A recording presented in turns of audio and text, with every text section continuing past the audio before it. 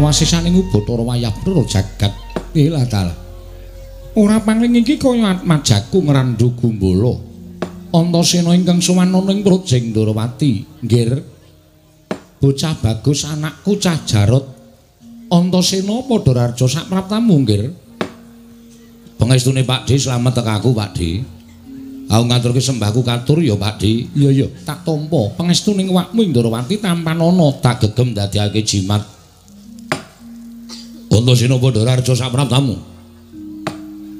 Pak di Manduro. Yo. Kok lenggane Ndorowati? Lho, apa ora entuk iki ngene adikku kok iki piye to? Oh iya ya. Ayo nyuwun pangapura. Wilujeng sowanku Pak Di aku ngaturke sembahku katur. Yo, tak tampa. Wah, kok kaya katon mencorong men to iki. Ya Antasena gawean kene kok Pak Di. Oh, mulane kok kaya mencirit. Breng neng mripat. rasa disawang. Nggih katuran karaharjan rawuhipun. Paman Setyaki slamet tekaku aku. Ngaturke bekti katur ya paman. Nggih kula tampi dawa sami-sami. Nggih katuran karaharjan rawuhipun anggir Antasena Pak Di Udawa slamet tekaku aku. Ngaturke bektiku katur ya Pak Di dangu mboten rawuh wonten Widara Kandang nggih kewajiban kasatriyan akeh Pak Di ya sesuk kapan-kapan tak selake aku tak sowan ning Widara Kandang duwe apa wonten geblek kuwi lah seneng aku kuwi inggih sampun radi mambu Kena udu patih tak jotos lho isan. Wong anak satriya kok disuguh geblek rada mambu. Dimas padha raja sak pratamu Dimas. Kakak iya. Slamet tekaku Kang. Aku ngaturke bekti katur ya Kang. Tak tampa pangestu tampan ngono ya Dimas. Iya. ndadekake jimat dayanana uripe Antasena. Antasena piye? Janur gunung kadingaren sowan ning Projeng ana wigati apa? Sepisan aku ngaturake sembahku katur ngersane Pak D Kresna Siwa Ndrawati. Iya, tak tampa. Pangestuku tampan ana. Heeh, angka loro janjane aku tekan kene iki kaya dene wong bingung. Lho, bingung sebab apa? Lah ngene tak critani. Nek padhe ora prisa, tak caosi prisa supaya ngerti lelakon sing dumadi ning kasatriyan Jodipati sing magepokan karo bapak. Bapakmu Werkudara. Heeh. Lho, bapakmu ya gene Antasena. Bapak ki sono karo tengah sasi iki lunga. Karo tengah sasi iki lunga. Saka kasatriyan Jodipati geger anak-anak Kakang Antarja, Kakang Garwaca, aku bingung kabeh. Wah, Simbo Arimbile nangis gulung koming. Lah bapak kira tau lunga kok ujug-ujug lunga mongko tanpa pamit.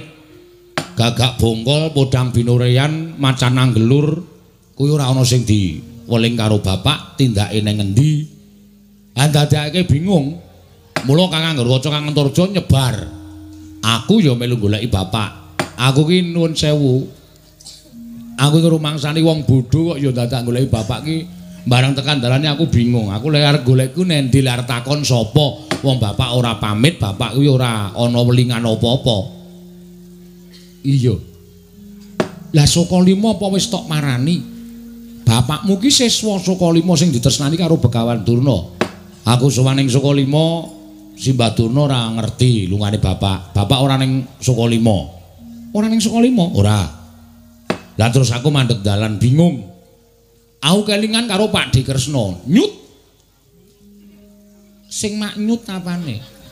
Pikir aku ki lho. Pikir aku ki mak nyut kelingan Pak Di Kresna. Pak Di Kresna ki titi sing Sang Hyang Bathara Wisnu, dewa sing tukang nentremke jagat. Mula Pak Di Kresna kuwi diarani sasra sumpena tegese kang paningal sewu. Pak Di kuwi ngerti sadurunge winarah, ngerti lelakon sing Pak Di ora prisa.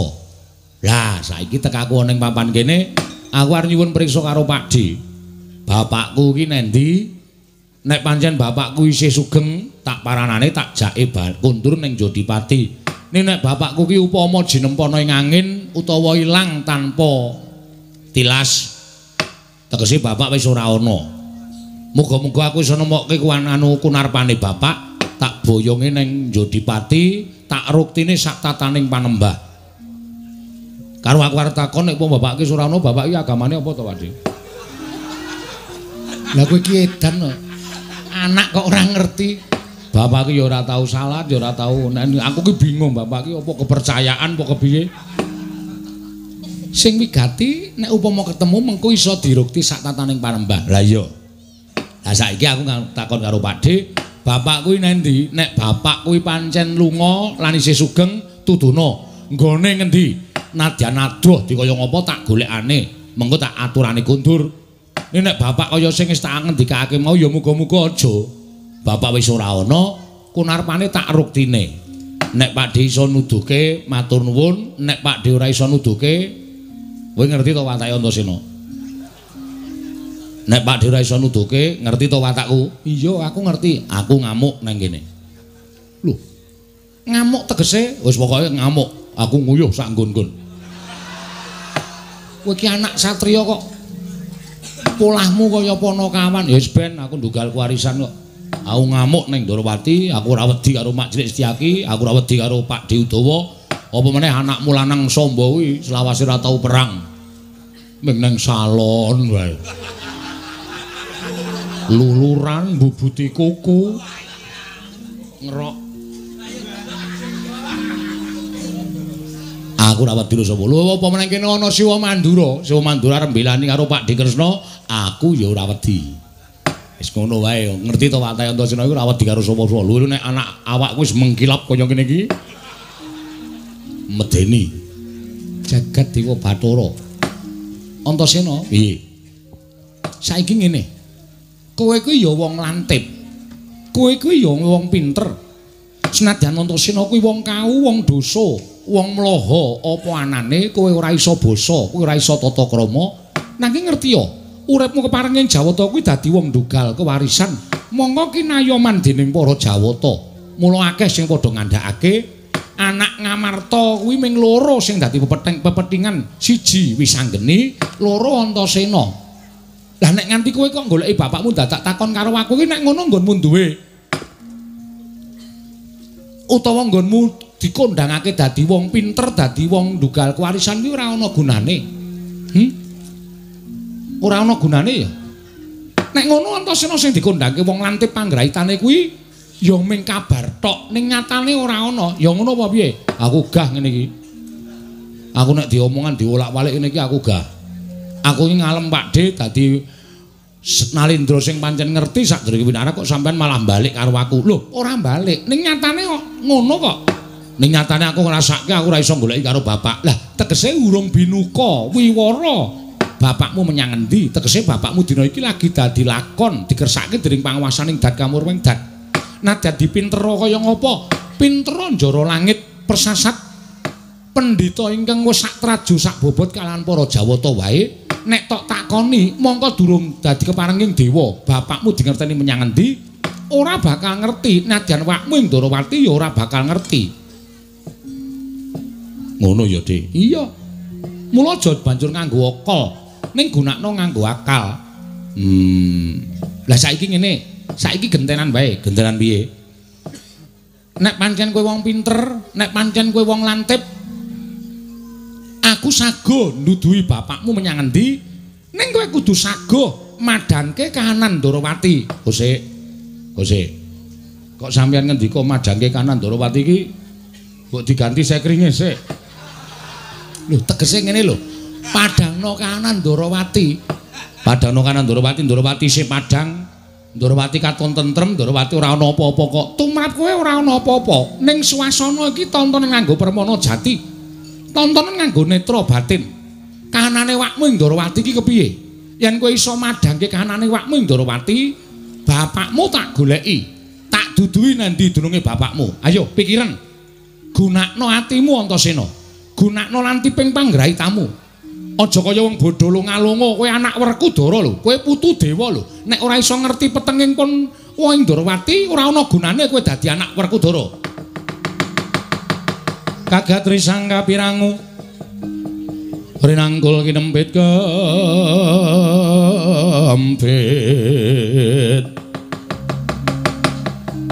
Dosang reknaning bawana. Ing ong candak di. Lho ngerti ngerti. Apa sing dadi sebabe Ndorowati eneng dayo. Dayoe mbutuhke pusaka negara Ndorowati nggo tombo negarane le ketaman pegebluk. Cocok apa ora? Aku ora wani matur ora usah wedi. Ora usah wedi. Jare sampeyan ngendikake padangno atine Kresna. Bareng tak gagapi aku manteng pangestiku aku entuk palimarmaning Gusti ngakarya jagat. Aku entuk pituduh neng kene eneng dayo. Nuwun sewu aku ora ngarani sapa-sapa. Ning aku nyebutke dayo. Aku ora nyebut jeneng. Aku ora nyebut inisial. Inisial iki apa? Ini dan itu. Sama-sama sial. Tegese aku ora nyebutke jeneng. Ning aku nggagapi neng kene ana kahanan sing Pakde ora patiya seneng. Sing Pakde ora patiya dadi renaning penggalih. Mula wektu dina iki kersane Pakde piye apa daya kuwi tak larak metu apa daya kuwi tak jotosi apa daya kuwi karepmu piye? Aku manggep kare manut. Pakde dawuh aku nyendikani ora sawedi Pakde nek Pakde ngendika aku ngestokake dawuh. Nek Pakde ora ngendika aku ya ora bakal ngestokake dawuh Pakde iku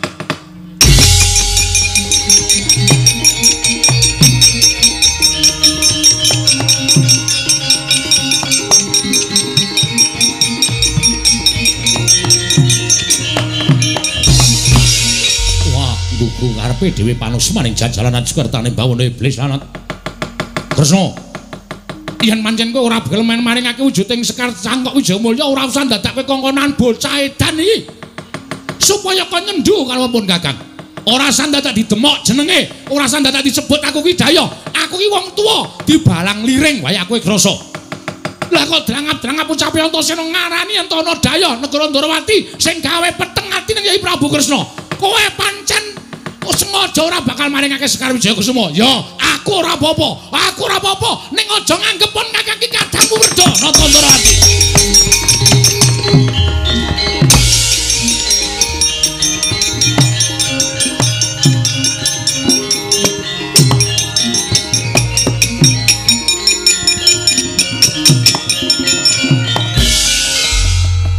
Sing gedhe pangapuramu lho, Dik.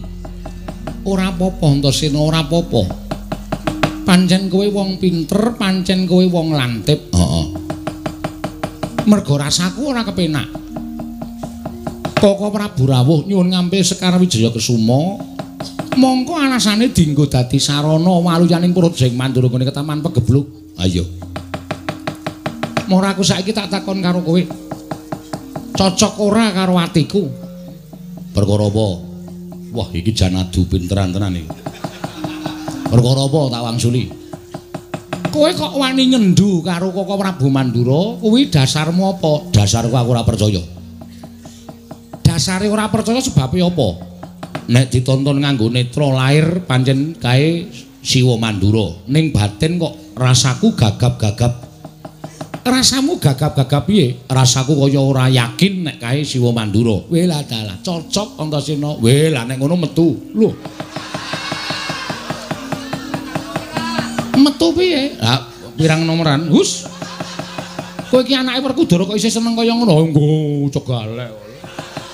Bangane ora. Aku nek ngantuk nek ora nyelentrem. Nyelentrem ngawur kok. Salahe angel-angel. Terus kersane Pak Dewi. Kowe madangke penggali Pak Demu Ndorowati aja mung ketanggungan kersane padangno sisan Ndorowati. Kersane piye? Sing mlayu kae oyaken aku tak weruh kaya ngopo jatine. Ya nyuwun pangestu. Ning sampean aja ngapusi lho. Nek aku iso ngrampungi Siwa Mandura sampean kudu ngaturke nanti bapak. Iya Antasena wis lenggah prayoga badhe oyake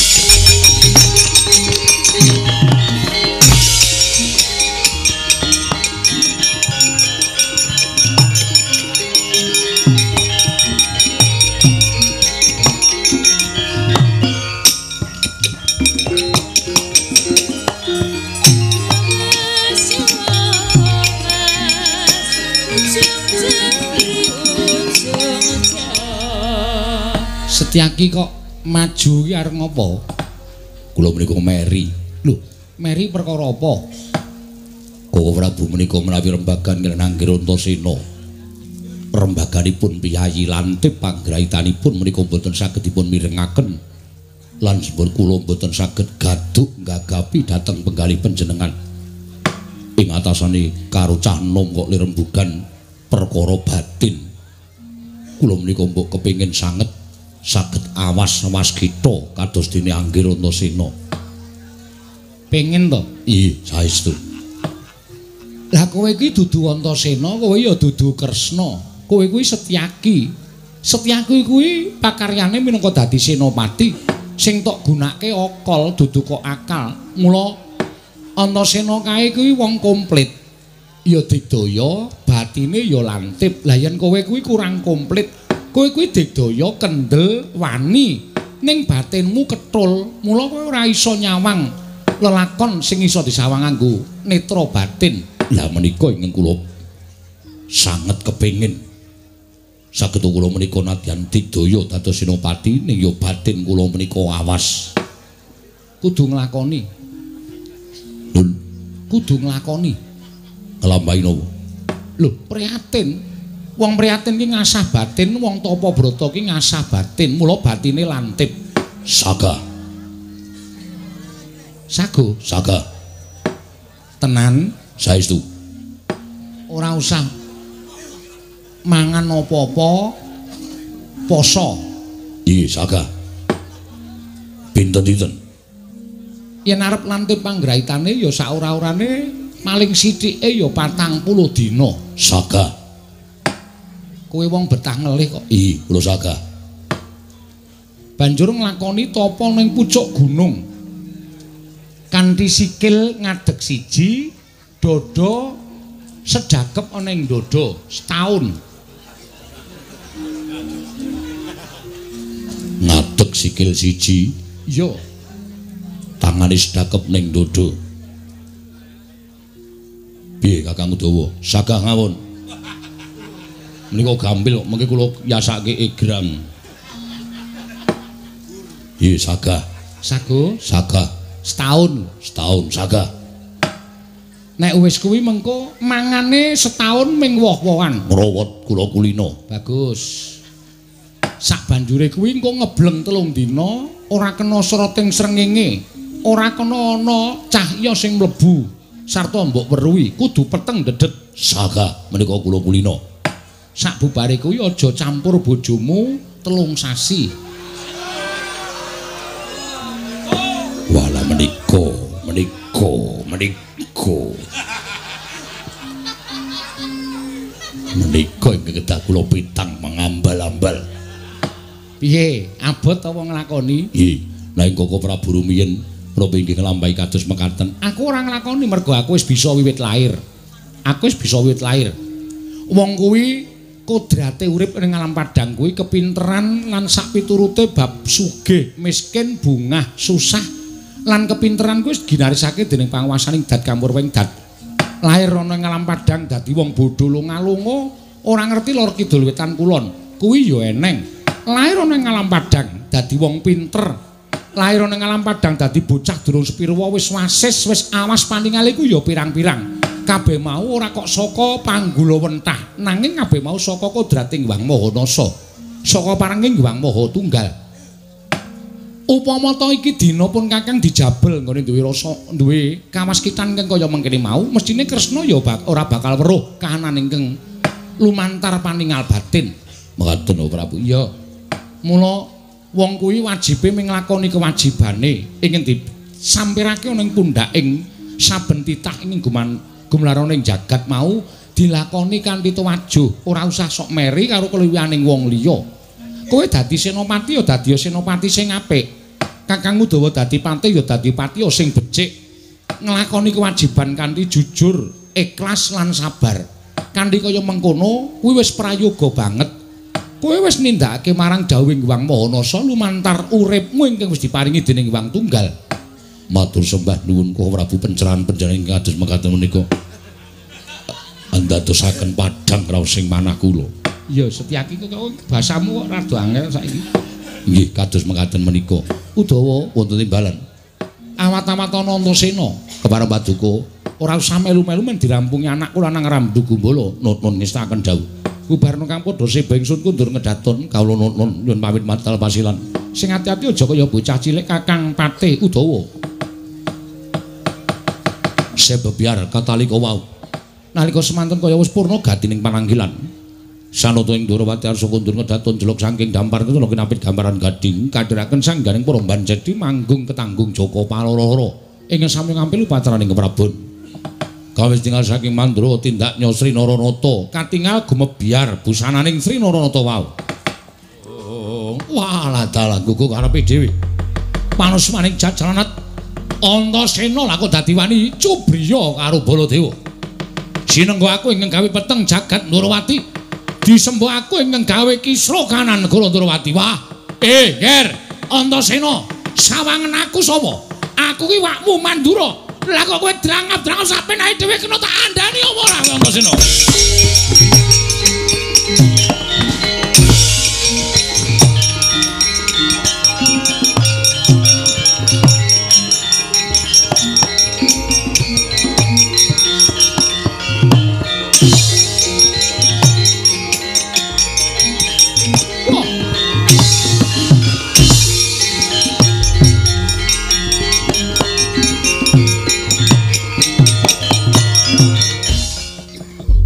Antasena.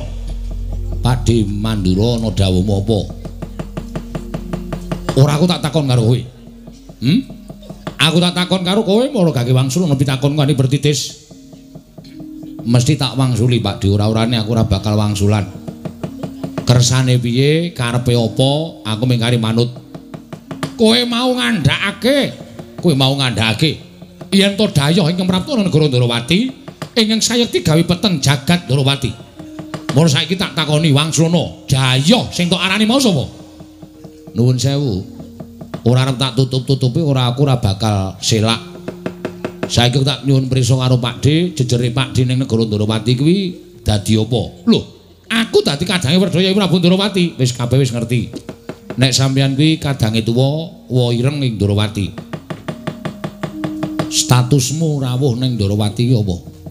Sepatune sapa? Status. Walan. Tegese jejermu minangka ning Ndrawati iki lenggahe dadi apa? Lho, aku Dayo. Lah. Mesine Pakde wis krasa nek Dayo ning negara Ndrawati iki dadi pepeteng. Terus aku tak takon karo kowe. Apa aku gawe geger apa aku gawe kisruh apa aku gawe rame? Ora gawe geger, ora gawe kisruh, ora gawe rame. Ning Pakde gawe bingung penggaling Siwa Ndrawati. Mergo Pakde nyilih Sekar Wijaya Kusuma, ya toh? Pak Nyilih Sekar Wijayakusuma, alasanmu tok nggo tamba negara Mandura nggone ketaman Pegebluk. Negara Mandura iso waliyane Rama Tumajati, Jati Lemah Mulya yen to tinunggon Sekar Cangkok Wijaya Mulya. Mula penggali Pak Kresna bingung. Penggali Pak Kresna bingung. Arep maringake Sekar Wijayakusuma, mongko kuwi pusaka nek ora maringake kok sik ngilih kadange werda. Ya. Terus utusan karo Antasena kon rambengi perkara iki. Mula sing gedhe pangapuramu yen to aku ngarani Pakde dadi peteng tumraping negara Ndrawati. Wah, yen ngono tok sumbering perkara. Ora lek mujaba adiku dhewe, Yai Prabu Ndrawati. Yen pancen ora entuk ya aja diparingi ngampil, ning ora sandadak memirang marang kadange tuwa. Terus sirmu, kowe minggir. Perkara iki perkaraku karo perkarane Yai Prabu Ndrawati. Kowe aja melu-melu. Pak D tindak mau aku wis dipasrahi karo Pak D Ndrawati. Antasena wakmu Mandura ladenana. Aja nganti gawe gerah penggali wakmu Mandura. Mula nek Pak D ketemu karo Siwa Ireng aku sing ora entuk. Lho, ora entuk piye? Aku wis diparingi Purbawasisa. Kowe iki derajate apa? Kowe iki ya mung daya ning negara Ndrawati. Lah kok dadi kowe malah balekke daya? Ora ana jamak lumaring daya kok mangsuli daya. Nek aku ora entuk purbawasisaning Siwa Ireng aku ora bakal mangsulan karo Siwa Mandura. Ning gandeng aku entuk purbawasisaning Iwa Kresna aku peksa wani karo Pakde balekke Pakde aja nganti ketemu karo Siwa Ireng. Wis ngono wae saiki niatmu piye? Lho lah kok dadi kowe nanting niatku piye? Aku eneno dalan tak ketemu karo Kresna.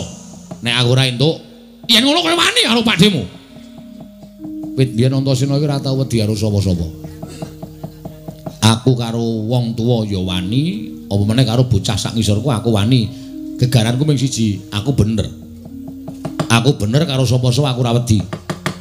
Aja kok jamak lumrahing kita swantah dewa mudhun wae nek Antasena bener, dasarku bener, aku ora bakal wedi karo sapa-sapa. Lho, lho piye?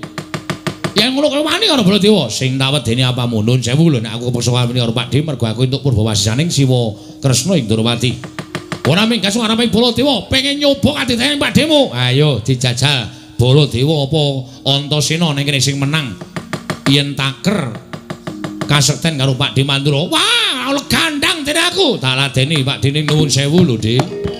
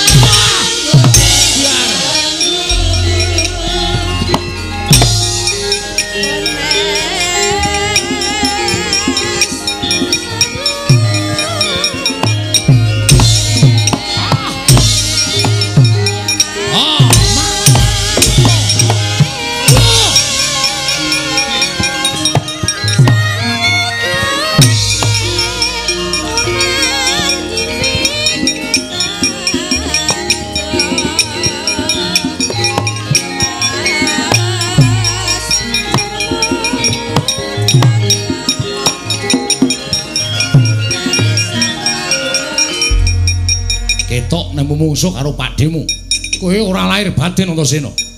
Ing atase kowe nyepeleke karo wong tuamu Mandura, kowe tak antem tak jotos. Mestine kowe kudune bales. Kewan kae wae kepengin males yen dipiloro karo menungso. Apa meneh kowe menungso? Hm?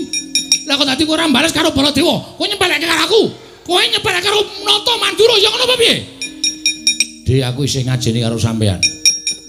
Aku bales karo sampean, aku ngejotos karo sampean, sampean kok kewirangan. Sampeyan isin tur ya aku ora ngerti tata krama. Jroning peperangan ora ana tata krama. Jroning peperangan ora ana isin, jroning peperangan anane ming kowe apa aku sing tekaning pati. Ayo, nek pancen nyoba karo Baladewa, gage jotosen Baladewa. Nuwun sewu lho, sampeyan sing dawuh, gage jotosen Baladewa. Nuwun sewu. Waduh, iki malah kesrimpet tang wayang. Nyuwun pangapura, Pak Dik. Tak nganggo nggon aku dhewe, rusak-rusak ora nempuhke. Ayo jotosen bola dewa. Nuwun sewu, sampeyan sing ngakon. Waduh!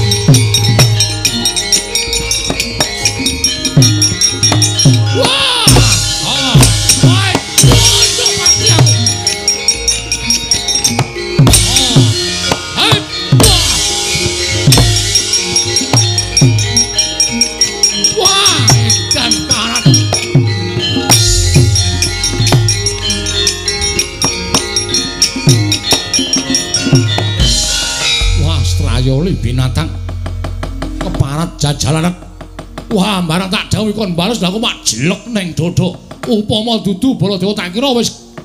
Katriwandan ora eling Purwodasina yo Antasena kowe wani karo wakmu kowe mentolo karo wakmu Mandura yen ngono aku kudu mentolo karo kowe. Yen aku ora mentolo karo kowe tangi aku iso ketemu karo Yai Prabu Ndorowati ayo maju kene. Kurang ngerti kekuatane Nata Mandura Prabu Baladewa. Bareng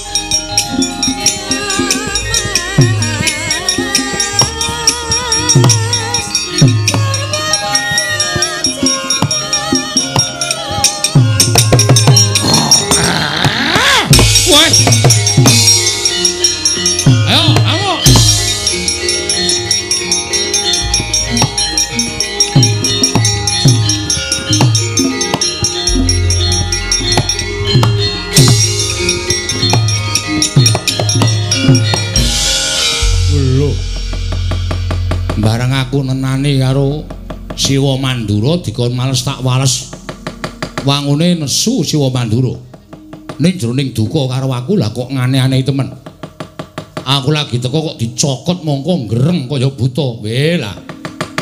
Iki nek ora tak tenani jebul bener panggraitane ngatiku. Aku wis matur karo Siwa Ireng yen saking dadi pepeteng negara Ndrawati kuwi daya. Daya wujude Siwa Mandura. Wah, syukur malah iso ngerti sapa sing arep gawe wisuna, sapa sing arep geger gawe geger negara Ndrawati. Pakde, kowe kok nyokot kaya buta. Kowe kuat nampani sungutku. Aku mengguru karo kowe, ning aku njaluk ngapura sadurunge Pakde.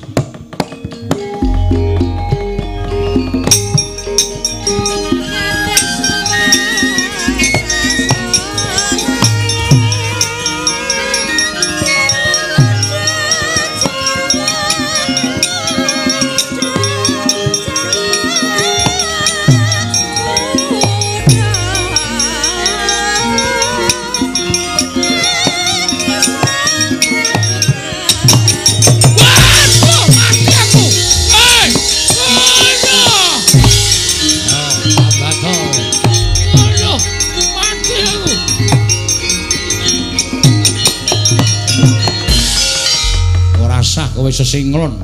Ana ing sandangan sing tok agem. Apa mbok anggap Antasena ora ngerti sejatine sapa kowe? Ketiban daya sungutku ora gugrak marasmu aja duntang Antasena waduh mati aku Antasena lah kok dadi pet-petan kaya kene kananku? Ora duwe kekuatan nglokro kaya ngene Antasena mati aku mati aku Antasena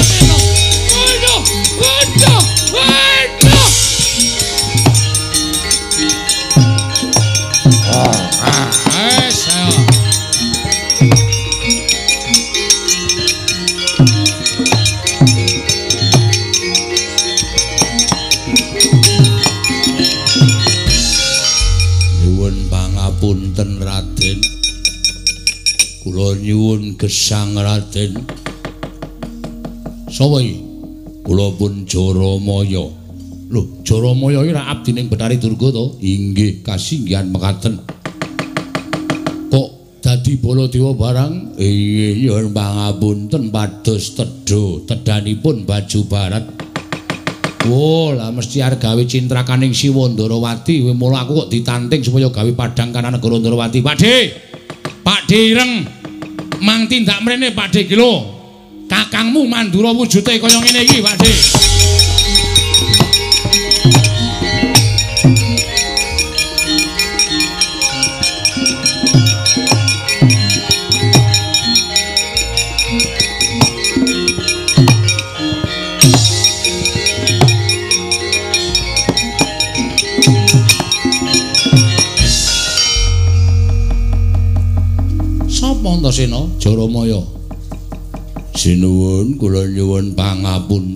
Dalah. Mula ta mula aku ki rada cubriya. Mandura ingkang maune ora apa-apa. Lah kok dadi Kanjeng Koko Prabu Rawuh ning negara Indrawati ngendikake yen to telung candra Mandura ketaman pegebluk.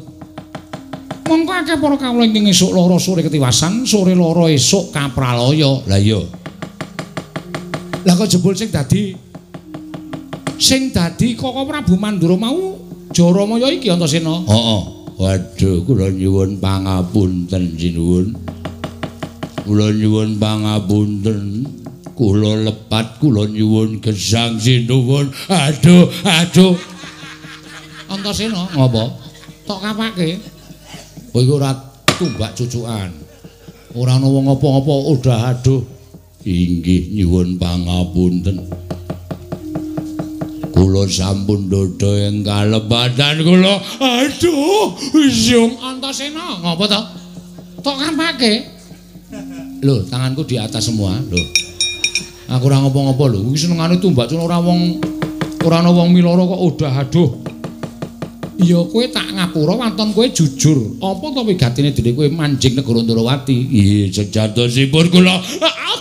Jauh Oh, kepidak iki apa, Pak De? Tak kira nek batu baterai. Ngono tak idak tak gelir mengarep kok uyung tak gelir mburi kok. Tak iyer-iyer kok. Waduh mulese ra jamak-jamak. Ya yo ngapura karang yo ora ngerti kok ya. Wong edan ora kok ngaku kuwi gatine apa? Dipun utus Pandya Bedari Durga sepados-pados rono pejahipun titah srana tedanipun Bajo Barat. Kok ingkang mbok jangka aku? Sebabe apa? Iya. krana panjenengan menika pengayonipun para Pandhawa menawi Gusti ing Darawati menika seda Pandhawa boten badhe kegiatan monggo Pandhawa menika klebet bocah Sukerta menika dados tedhanipun para baju barat ora ana ingkang ala tumama marang becik mula yen kowe arep mbudidaya mateni marang Nata Ndrawati kudu nganggo karti sampika sing luwih primpen ya. Mengko ndak kadenangan. Mergo Ndrawati iki pamaning wong lante panggraitane. Inggih Jaramaya wonten dawuh. Kowe tak lilani bali ya. Kandha karo Betari Durga yen kepengin mangan wong Ndrawati kanggo panganing para braju barat dina iki tak ajangi jembar leganing atiku oh inggih ngestaken dawuh kula nyuwun pamit madal pasilan. Sing ati-ati aja kaya bocah cilik. Raden Antasena kula nyuwun pamit. Bali kono. Tutuki gundulmu ora. Buta kok golek pangan kok ning negara liya. Ana ora ana pangan apa piye inggih wonten nanging kedah bocah Sukerta wis gawe wis gawe omong. Oh jo bocah Sukerta dadi panganing baju barat apa piye sembrono bali kono. Inggih kula nyuwun pamit sinuwun sing ati-ati aja kaya bocah cilik Jaramaya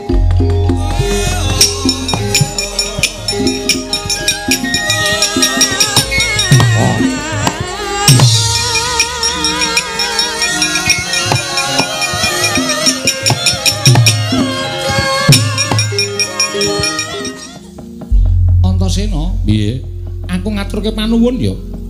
Iki kinarya Pratandha, nadyan kowe iku isih muda nanging lante panggraitamu. Ya, Pakde tipu padha-padha. Nih aja mung tekan semono. Lho, tekan semono piye? Aku mengarep nagih janji. Nagih janji apa? Jare sampean mau paring pangandikan Antasena nek kowe iso madhangke kahanan negara Ndrawati. Kowe tak jarwani menyang endi bapakmu. Saiki Ndrawati wis padhang. Ndrawati wis katon padhang, kelilipe wis ilang, ya kuwi wujud Siwa Mandura, sesinglone Jaramaya. Iya. Lah saiki aku tak takon karo kowe. Gandeng aku iso nyingkirake pepeteng kang tumandone negara Ndrawati, aku nyuwun mriksa bapakku nendi isih urip apa wis ora ana. Nyuwun mriksa karo Siwa Ireng. Antasena? Nggih. Yen kowe takon babakan perkara kuwi aku mesti bakal menehi wangsulan nah marem aku iya. Bapakku nendi Pak Dik? Lah ngertenono wangsulanku marang kowe cekak aos wae. Yen kowe takon bapakmu menyang ndi aku ora ngerti. Iki sono perkara liya lho iki. Aku bar jotosi kakangne iso ngantemi adine tenan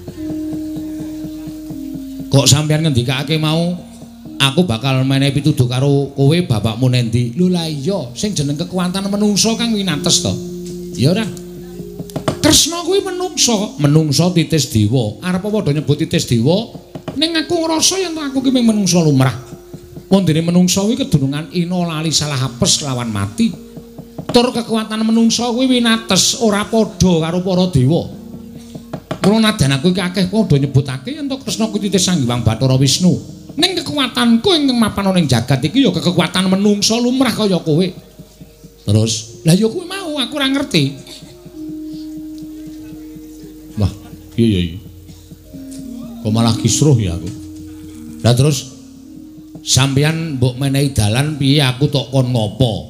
Tok kon kepiye takon karo sapa? Lah kowe kepengin takon karo sapa?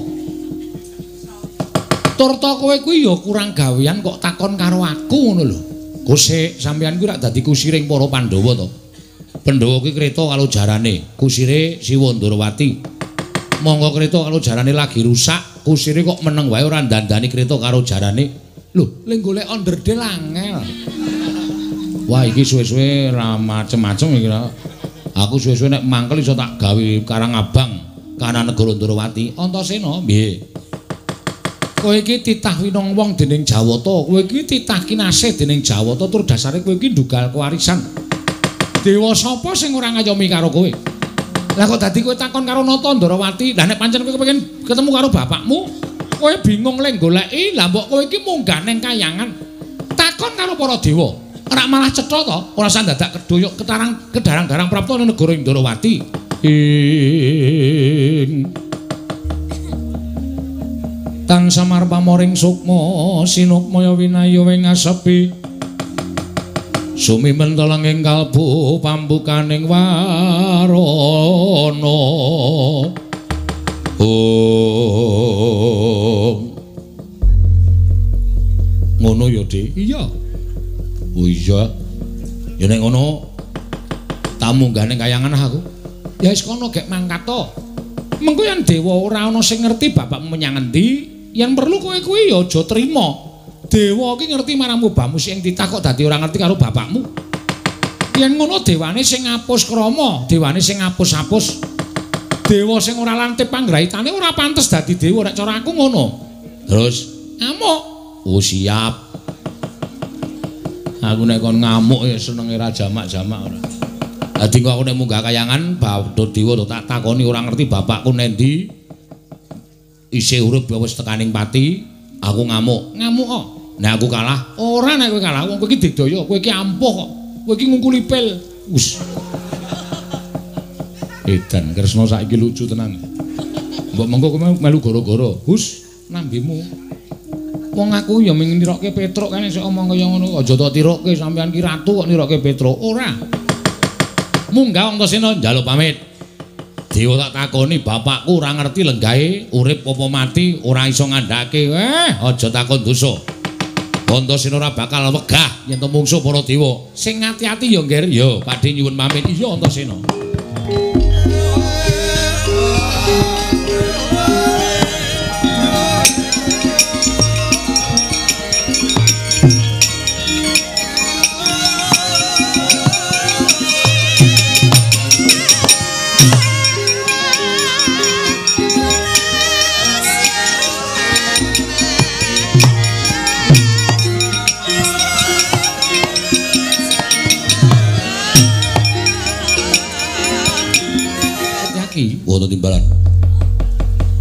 Wedi kangelan sira sun pasrahi negara ing Ndarawati.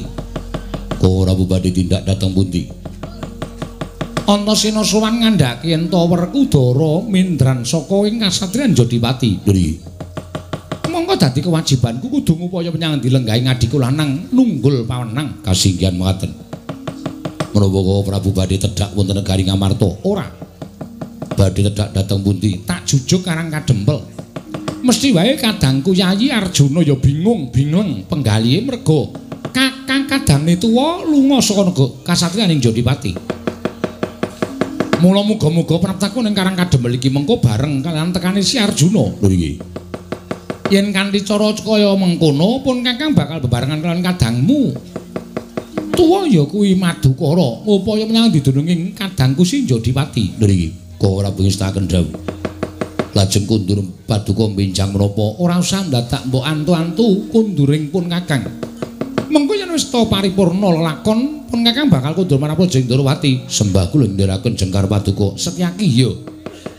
Tatanan para wadyabala supaya tumbuk kempit aja ning kemaraja saka sela-selane garu ing gawe geger kanan Ndrawati Setyaki sendika ngestaken dawuh kok ora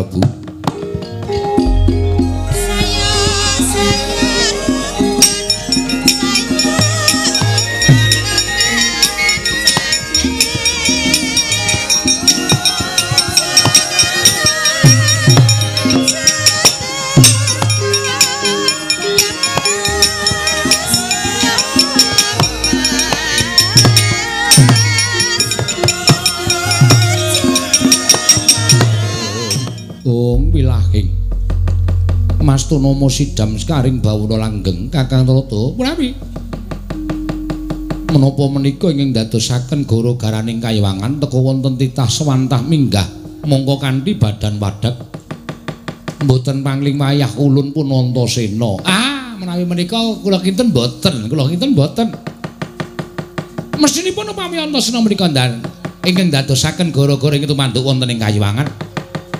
Tumuntun boten badhe wonten hawa asrep ing dadosaken ayem kados mekaten menika. Nyatanipun Antasena minggah wonten ing kayuwangan menika ugi boten wonten hawa panas sekedhik kemawon di. Namung mbok menawi monggo kula aturi paring dawuh lan kula aturi ndangu dhateng pun Antasena. Wigatosipun menapa teka sowan wonten ing kayuwangan?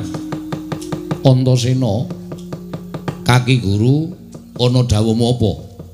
Padha raja sak prapta kita nggir, kita ngabiyantur ning ngarsa ulun. Pangestune kaki guru wilujeng niring sambikala. Aku ngaturke bekti katur ya kaki guru. Iya iya, Antasena ulun tampa. Akarya bombong tias ulun ora liwat pangestu ulun ana, ndak gegem dadekake jimat. Eh, Antasena padha raja sak prapta kita nggir, kaki Narada wilujeng. Slamet tekaku bekti katur ya kaki Narada. Oh iya iya tak tampa. pangestulun tampanana ndak gegem dadiake jimat. Antasena sawise kita ngabiyantara mongko tanpa tinimbalan ana parigawe apa maragake matur marang panjenengan ulun apa ingkang bakal kita aturake marang ngarsa ulun Antasena kaki ana apa nggih Sowan ngersane kaki guru sepisan atur pangabekti ndungkap angka loro. Ngaturake bingung ing atiku. Merga dina samengko iki bapakku ya kuwi Bapa Werkudara lunga saka Kasatriyan Jodipati. Monggo aku wis goleki menyang endi papan tambuh-tambuh nggonku ngupadi karo wong tuaku. Parandene urung entuk katerangan menyang endi lenggahing wong tuaku Bapa Werkudara. Mula gandeng bingung atiku tumuli aku munggah ning kayuwangan. sing wigati aku nyuwun prisa karo kaki guru bapakku Werkudara tindake nendi lungane nendi lan wigatine apa? Yen kaki guru iso ngaturake utawa ngendikake bapakku menyang dilenggahe aku ngaturke panuwun. Nah yen ora nuwun sewu kaki guru tinimbangane kaki guru kuwi dadi sewijining dewa. Mongko dapukane ratu ning dewa. Ing mestine ngerti malah mubah musik ing titahe. Ning kok tak takoni bapakku panjenengan ora iso ngendikake lan ora ngerti nek dilenggahi bapakku aja takon dosa aja mbok salahke yen Antasena ngamuk ning Suralaya kaki guru. Antasena aturmu lah kok dadi kaya mengkono.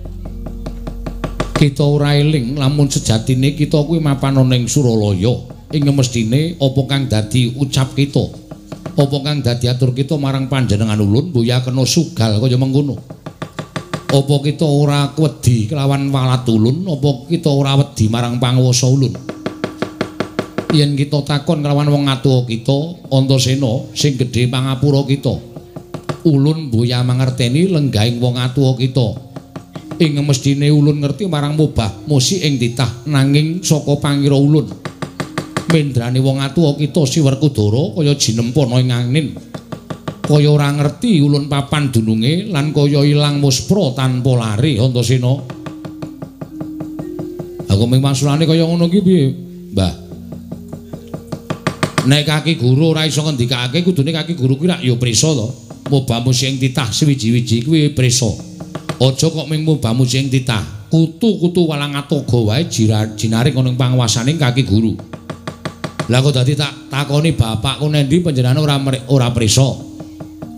Nek ngono ora guna gunane sampeyan dadi kami tuwaning kayangan, ora ana gunane sampeyan dadi nalindra ing kayangan. Jebul peteng paningali kaki guru ora iso mawas marang kahanan ing titahe. Kanthi kaya mengono iso tak sebutake yen kaki guru lirwa nggone ngawasi karo para titahe kang urip ning jana loka. Mula bab iki aku ora nrimakake. Mula bab iki aku ora nrimakake. Eh, Antasena aja kaya ngono, sabar, sabar, ger, sabar. Perkara iki iso dirembuk, perkara iso iki iso dirembuk kanthi sapi-apike aja banjur nuruti marang mubal babaling kanepson kita. Ah, lah nek kita ngamuk ana ing kayangan iki wah geger kayangan. Ora ana ingkang bakal bisa nandingi marang krida kita. Mula kita aja kaya ngono ya, Ger Antasena. Adi Pramesti guru kuwi pancen ora ngerti ning sabab kayangan uga lagi ana kahanan ingkang elok-eloki. Ingkang sakawit ana panas sumuk ngusundul ngawiyat dumadakan ana hawa anyep. Ingkang ngabosa ning Suralaya wekasan katon ayem tentrem. Lah iki kanan sing kaya ngene iki jane Sasmita kenal. kelawan Nadi Pramesti Bathara Guru supaya iso ngonceki marang Sasmita iki ning durung dionceki lah kok kita wis sowan. Kita sowan takon kelawan bapak kita iki ah mulane adikku ora iso ngaturake. Kaki Ndradara sampe melu-melu. Mane tak jungkir. Iya iya wis. Wah, cilaka iki lah. Ternyata arep dijungkir iki bentuke piye coba? Ah, lagi sembrono ana dewa arep dijungkir. Antasena ulun mbuyang ngerti Antasena sing gedhe pangapura kita. Ulun nyawang kelawan blegere bapak kita nanging kaya ora katon. Ulun wis matur, ulun wis paring pangandikan bapak kita kaya jinempana ing angin. Kaya ilang muspra tanpa lare. Nek ngono aku ora nrimakake kahanan iki. Kaki guru kudu mudhun, ora pantes dadi dewaning para dewa.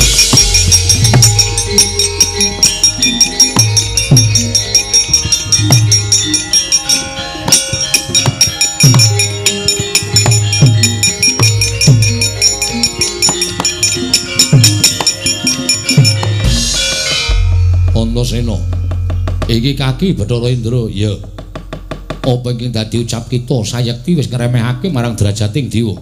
Sayekti ngias marang derajating para dewa ngilani marang para Jawata. Jejere kita titah lakowani delangap-delang ngarsaning Kanjeng Rama Pukulun Bathara Guru. Atmajaning Bathara Guru ingkang ora nrimakake. Antasena ora metu saka Bali Marti Kundha manik lakon tak legandang dening aku. Weh lah kriwikan dadi grojokan gedhe.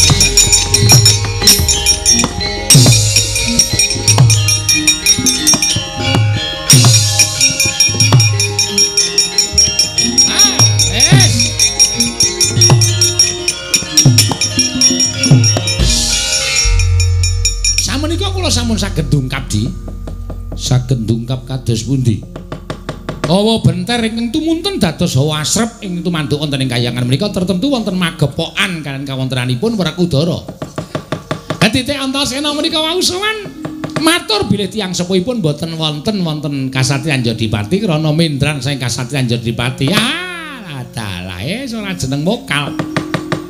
Werkudara menika nadyan titah nanging wis buntas kawruhe. Ketoke agal nanging lembut ngungkuti jaroting asem. Titah ingkang saged pinanggih kalian ingkang nyipta dhateng badanipun utawi gesangipun Bratasena inggih namung pun Werkudara. Kabukten piyambakipun saged pinanggih kalian Sang Ruci Bathara menika menawi boten titah ingkang pinunjul boten badhe saged kasembadan. Mila Bratasena kula kinten mbok menawi sak mangke laku tapa nanging sak mangke ilang waspra tanpa tilar papan. Utawi mboten wonten tipakipun anggenipun lampah tapa duka wonten pundi sak menika Bratasena nanging pakartinipun Antasena majanipun Werkudara menika ingkang sajaipun sampun kewanen Kakang Trada.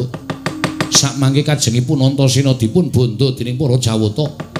Mbok menawi menika saged kinarya pancatan kula lan panjenengan mangertos dhateng menapa ing dados gawenipun Werkudara ah nggih kene ngatos-atos lho. Bocah menika ndugal kewarisan. Isa uga Antasena mboten dicekel ning sampeyan sing bingung mengke. Merga saka pokalisi Antasena, Kakang Rada kula menika nalindraning para Jawata sampun nias dhateng kula monggo dipun titip riksa. Mangga dikula derekaken.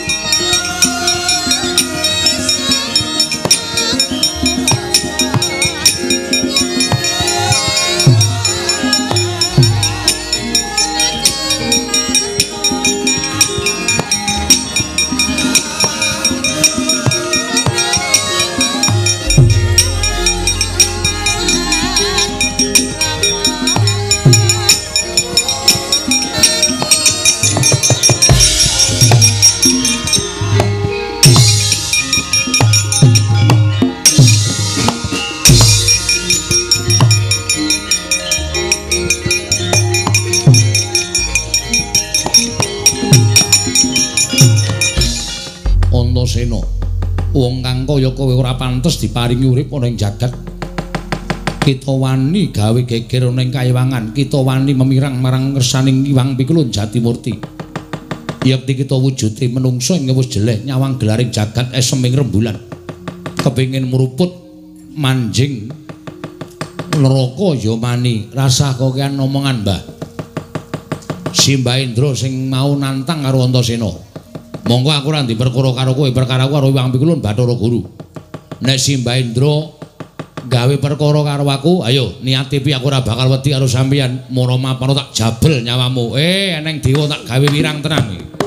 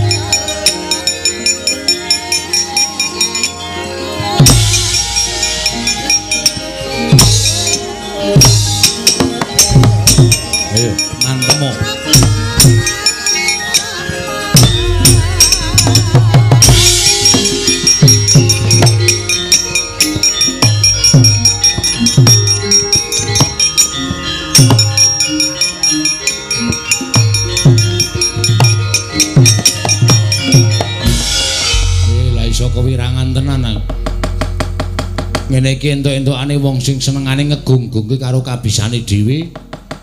Rumangsa kekuatanku ngungkuli karo panguwasaning dewa. Wah jan iki isin tenan nek nganti aku kok keweruhan wong li perang iki antasena wis wani nantang para dewa kok ngantem dewa iki kok kaya ming kurang sekilan. Angger tak antem kok kayane kena ning ora. Wah jan keparat tenan. Pasang apa ya dewa apa ngendikaning simbah-simbah piye sing jeneng ngaji lembu? Sekilan ki ngono kuwi ya? Diantem ketoke kena kok. Kurang sekilan. Yo. Ning aku kelingan welinge sapa-sapa kae tau tate paring pangandikan piye sepuh taruh tau tate mejang karo Antasena. Nek kowe ketemu karo wong sing digdaya nek kowe ketemu karo wong sing ampuh monggo ditamani gaman ora apa-apa ditamani tangan ora kena kon nyembah ping telu. Nek wis tak tembak kaping telu tak jajali. Mbok menawa iso dadi srana nggonku iso ngajar karo kaki ndro. Yo arep antasena kuwi ora tau nyembah ora iso ndodok karo sapa-sapa ning tak cobane ming ping telu lek nyembah ning iso ngajar karo Bathara Indra. Ditenono mbah kowe aja girang-girang gemu aja gleleng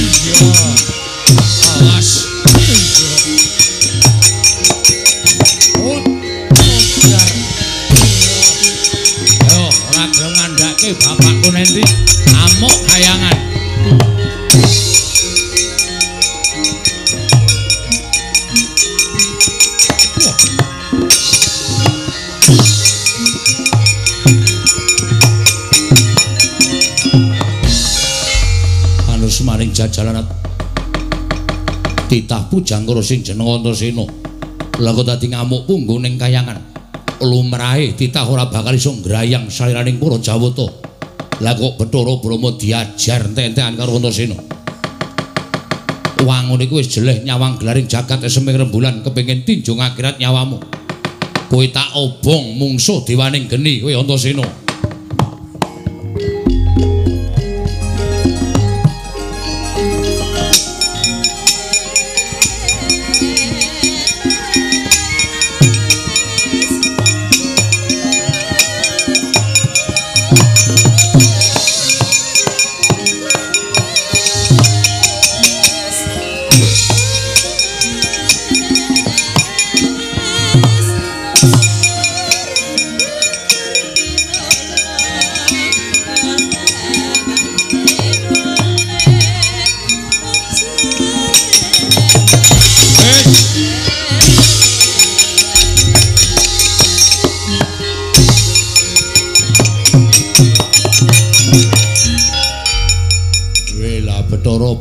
dewaning geni ngetokke geni sak lumbung Bandung gedene. Ya, apa dikira Antasena wedi? Kowe lali yen Antasena kuwi papane ning segara. Tak nyuwun marang panguwasaning Kanjeng Yang Baruna. Muga-muga mandi sing dadi penjalukku geni ora bakal tumomo ning awake Antasena tak balekke ngobongo karo sing duwe dhewe.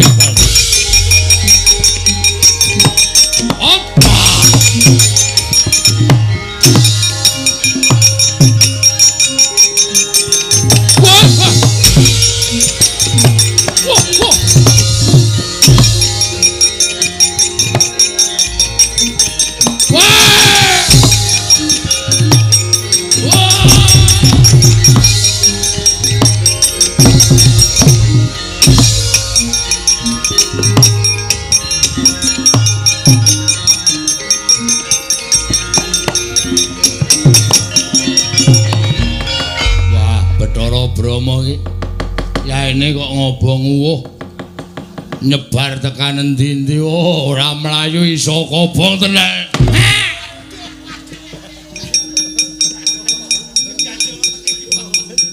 Nun sewu nun sewu dengkulmu atos kira. Oh, ya mau dipati ora ngematke. Ana ntrodo tengok nek kene kok nganggo sepatu digajul nggon peteng. Wah, lah trondolo iki. Ajre kula. Wedi ngapa? Bathara Brahma ngagem geninipun supados mejaya Antasena.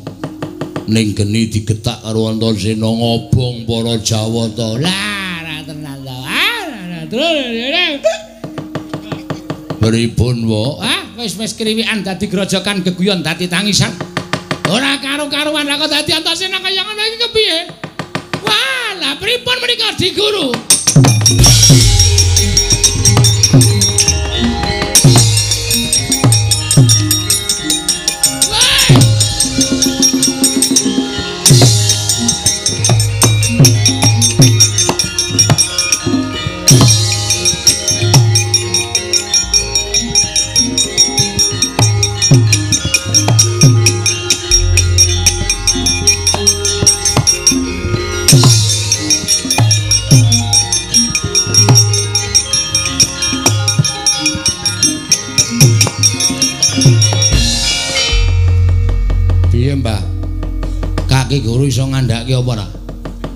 iso ngandhake aku ora trima lho, tenan iki aku ora gawe-gawe. Aku ora ketemu karo bapakku, aku bali ning ning Kasatyan Jodipati ditangu ditangu karo ibu-ibuku nek aku ora iso menehi wangsulan ibu-ibuku dole nangis do gulung koming. Aku ora nrimake lho kaki guru. Antasena piye? nganti tekan seprene ulun durung bisa gagapi menyang ngendi dununge wong tuamu ya kuwi Siwerkudara.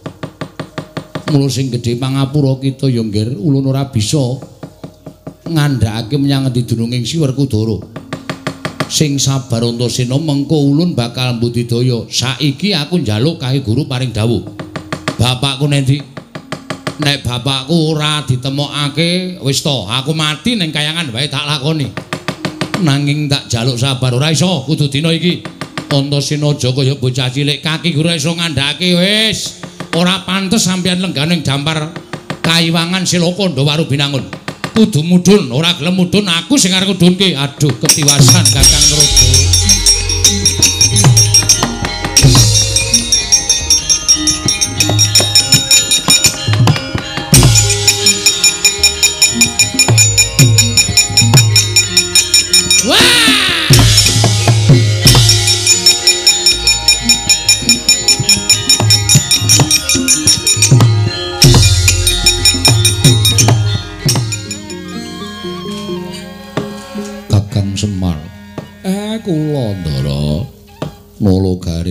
Wonten dawuh den petro wonten dawuh ndara bagong wonten trimbalan ing dawuh ndara rumangsa susah janaka. Krana ngelingi lamun tindak ing kakang mas Werkudara nganti temeka wakyaning mangsa kala dina iki. Durung antuk pepadang kakang Semar menyang endi tindak ing Kakang Mas Werkudara Arjuna percaya nadyan Kakang Semar kuwi derajate ngaceplik. Mung batur wujuding kawan nanging aku pitaya lamun Kakang Nayantaka lante panggraitane. Mula paringa dawuh kelawan Arjuna Kakang Mas Bratasena Werkudara mau tindake menyang endi yen pancen isih sugeng Kakang Badrana ndak aturi paring dawuh nanging teyen wis ora ana. Kakang Semar raganing Kakang Mas Bratasena menyang endi? Eh, sampeyan niku le menggale kedawan. Le menggale kejeron. Sampeyan paring dawuh. Heh, Ndara Werkudara tasih menapa mboten? Eh, ya isin, Den. Mergi nuwun sewu. Kewajibaning Pandhawa dereng rampung sedayanipun tasih kathah kewajiban ingkang kudu dirampungake. Ala kok sampean paring dawuh apa Kakang Mas wis ora ana niku dasar sampean apa? Ah, terus Bratayuda sesuk pripun cobi? Ora mandeg dalan mboten kanten-kantenan kedadosanipun ingkang raka tasih, tasih kula apal. Kula niku apal mesti-mesti pendak-pendak kula titeni. Oh, nek sarandenging jagat menika mboten wonten dipun upadi. Namung setunggal. Ndara Werkudara niku nek nglakoni tapa nek kisah saking kasatriyan. Oh, mesti bali teng asal mula mulanira. Tegese piye? Mapan wonten ing wana tik Barasara papan 15 taun bungkus disetrakake dening Kang Rama pun Prabu Pandhu Dewayana diwa bathara kakang semar. Nganti ora tekan semono janaka nggone menggali. Mula ora usah dadak kesuwen mapan ning karang kadem pelayu derek nolaku ning arjuna. Prapta ning tengahing wana tik brasara papan panggonaning kakang masdut nalika isih wujud bungkus disetrakake dening kanjeng rama prabu pandhu diwayana kakang. Latmara sang arjuna semono kang kamanungsan. oh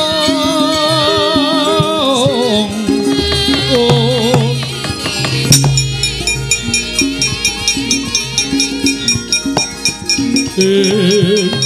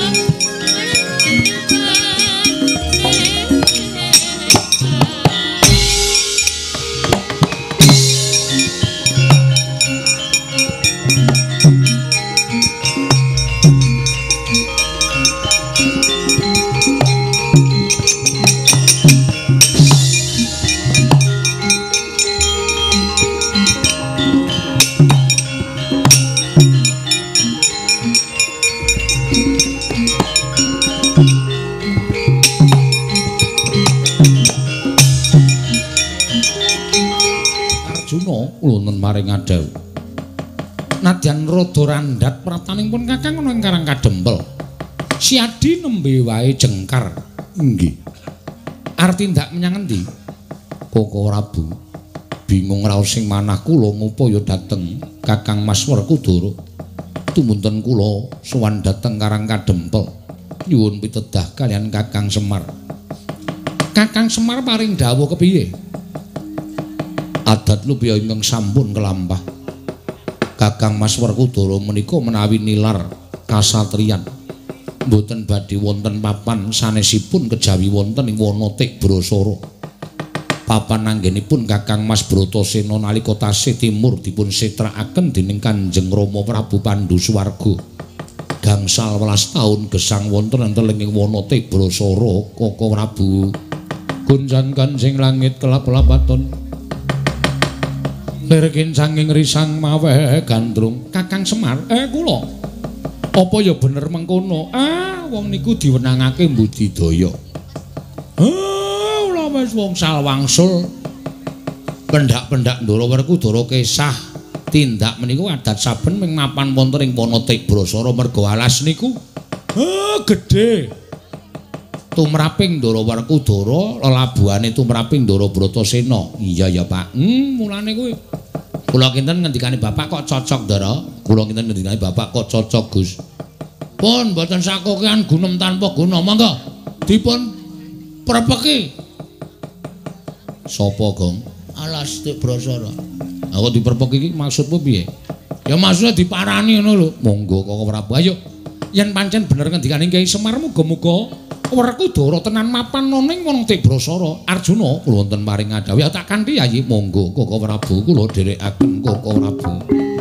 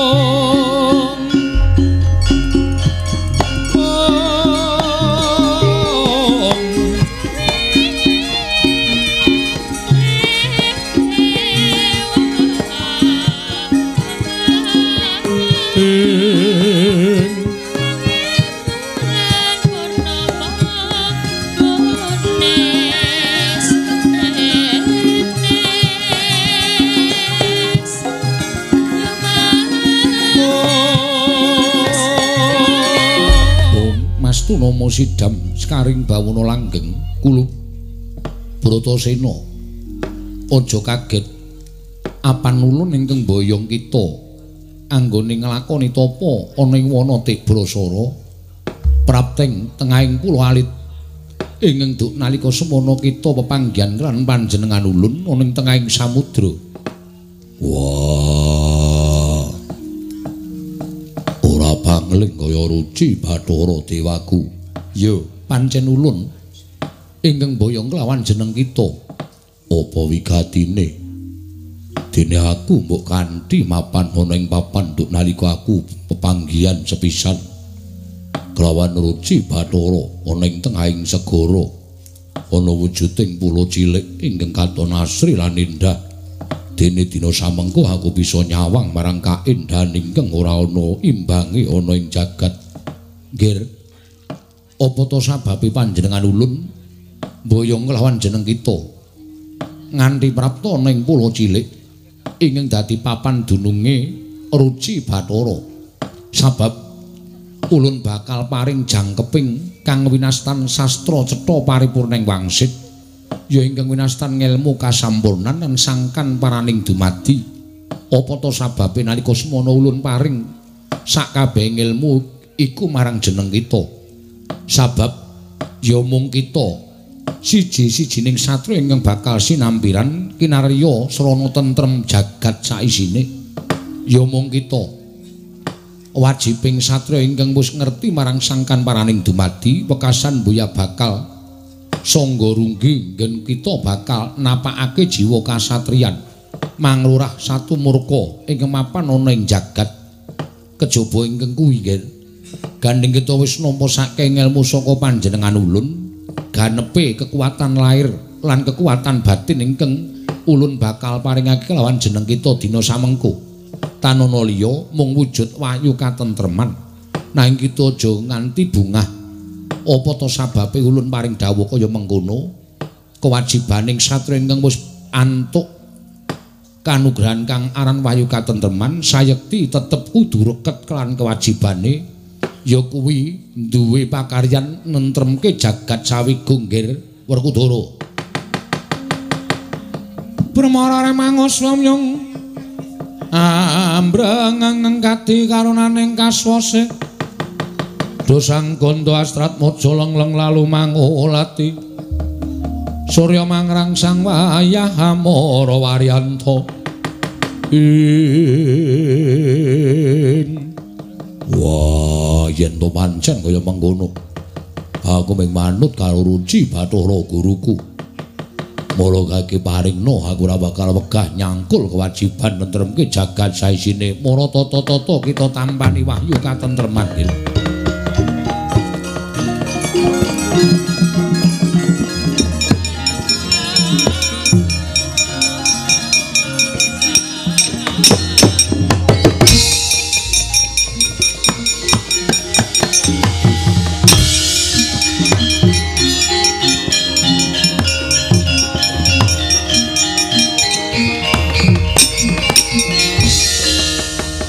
Bumi gunjang kanjing langit kelap-lap aton lergin sanging risang mawe gandrung.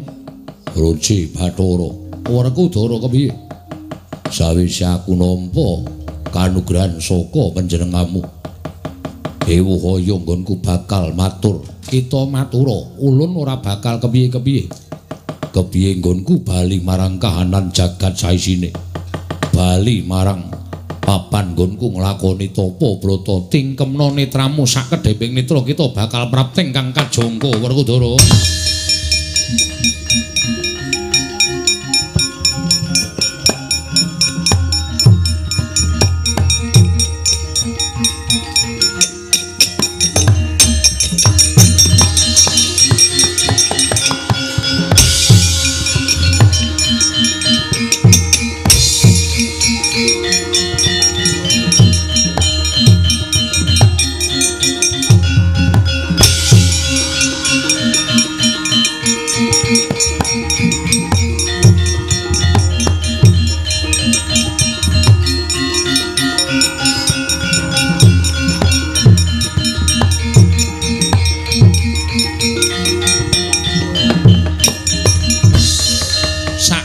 netra wis prapteng wana tik.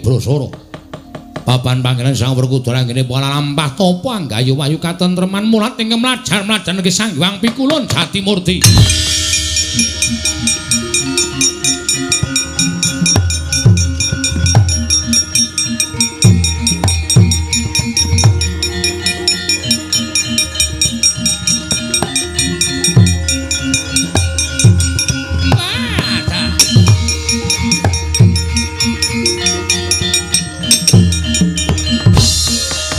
Yata laruta sakaing godha sang kala yen amutusa sang Sri Werkudara guru hakek kuwi. Dadi kita ingkang mapan ana ing Tibrasara alaku tapra kang mangkono wis bisa ulun westani lamun gara-gara ingkang mapan ana ing kayiwangan sayekti saka daya kekuatan kita anggone laku topo nanging kena ngopo kayangan tumuli adem edum. Pangrasa tentrem ora ana ingkang padha. Ora ana wujuding satru ingkang ngolah topo satemah gawe geger kayangan. Dening Bathara Ruci Bathara ya dewaku. Aku diboyong marang papan kayiwangane. Wekasan aku entuk wahyu katentreman keparingane guruku ya Sang Ruci Bathara ya Sang Dewa Ruci. Mengkono nggih ya syukur yen to pancen mengkono. Nanging sabab kita murca saka Jodipati kayiwangan rusak. Jalanane apa? Anakmu Antasena ingkang bujung-bujung lawan panjenengan ulun. Wah cah gendeng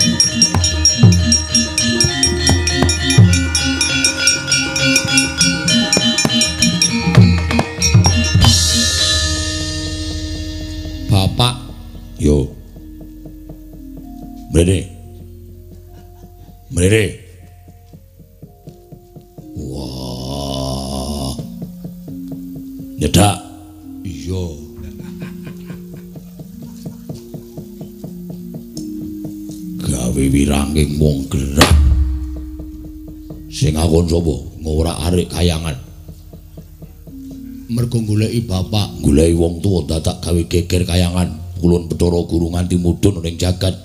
Tronodo nganti keplayu. Pamer. Pamer wong dadi wong digdaya, dadi wong kendel, pamer. Wah, bapakmu ki wong dosa, wong kau. Ning ngerti tata krama. Bathara Guru sing nitahke awake dhewe kok wani karo Bathara Guru. Pengen uraten trem uripmu. Wah, kandan kusik kusik. Wani nangkis. Mergo dora kata-katane ditangkis kene. Kose, kose aja nesu. Wah, le ora nesu piye? Aku izin karo Bathara Guru. Rawuh mrene. Ngandhake Antasena ngobrak-abrik kayangan. Ning bapak seneng ora? Seneng perkara apa? Bathara Guru kalah karaku. Ora caturan. Bathara Guru munggu gelem nenani karo kowe. Kowe modar. Aja sok pamer. Yo, yo, yo wis. rasa nesu. Wah, ora nesu piye? Golek ibu. Bu murene yo.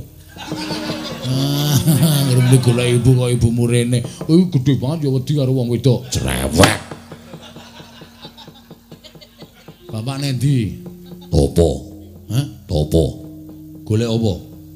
Golek wayu. Wayu apa? Katentreman. Entuk gawe, Pak. Entuk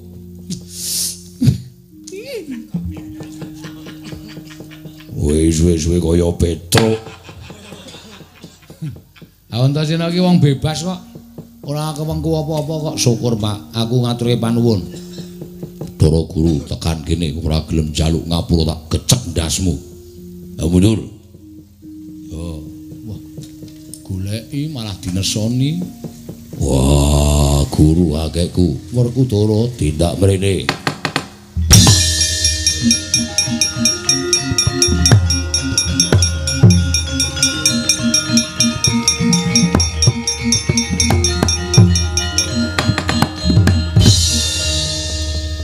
Antasena, kaki guru aku nyuwun pangapura ya kaki.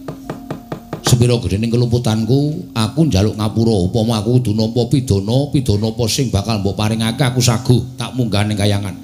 Nadan mbok cemplungake kawah aku saguh, waton bapak wis ketemu, bapak wis slamet. Mbuya apa-apa nggih. Ulun menehi pangapura kelawan jeneng kita. Ya wis, Akintrodo aku njaluk pangapura. Eh, ora apa-apa. Eh, aku kok isih gegem Watu iki apa kuwi? Ndosena isi gegem watu ngopo? Aku kebelet iki.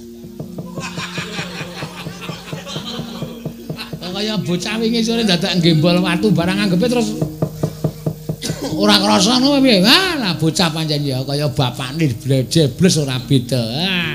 Iki anakmu tenan iki kuwi. Iya. Ming ranti tata krama. Ha iso ora apa-apa wong bapakne ranti tata krama. Werkudara. Nggih. Ulun melu mangayu bagya.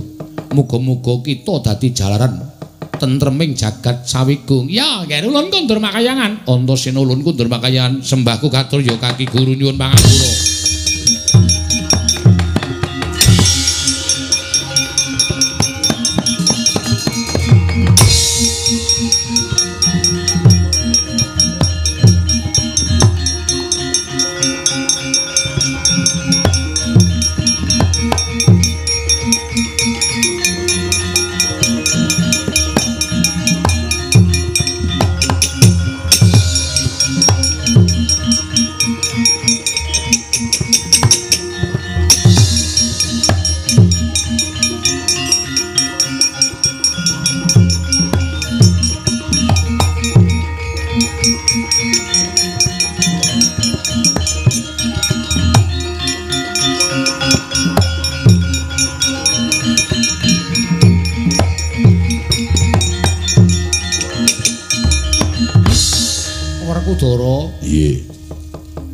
Saka ngendi to Yayi? Napake ketrimane uripku golek kanugrahan. Golek kanugrahan? Yo. Entuk gawe. Entuk. Apa Yayi? Wayu katentreman. Lho iki Antasena. Oh, Wadi. Piye Antasena? Ha iki lho, iki sing ngakon aku, sing dawuh aku. Kowe takono dewa, nek dewa ora ngerti ngamuka. Wah, kowe sing ngakon. Mbok ora sok wadul-wadul kaya ngono. Lah kowe iki dilulu kok ya tok lakoni tenan to. Lah jarene kon ngamuk, aku ngamuk tekan kene Bathara Guru. Tekan kene terus njaluk tulung karo bapakku dikeplaki karo bapak iki nganti dekok bathukku. Sesuk meneh Kresna iki nek dawuh petungen. Aja mantun tok pangan wutuh. Kresna iki nek paring dawuh wujude gabah kudu dadekke pari. Sawise kuwi tok pususi nek wis tok pususi tok olah dadi sego lagi dipangan. Weh atene suwe banget. Ngeyel kowe iki nek dikandani montor rasa ngeyel to ndoro? Wah ndoro aku ndoro ki nek ngono kuwi. Pikantuk wayu ndoro? Entuk petro alhamdulillah. Ngempek kamukten yo. Pikantuk wayu ndoro? Entuk nolo kareng syukur syukur den pikantuk kanugrahan Kakang Mas kula nderek bombong kula nderek bingah. Dene paduka Kakang Mas sampun pikantuk kanugrahan. Yo.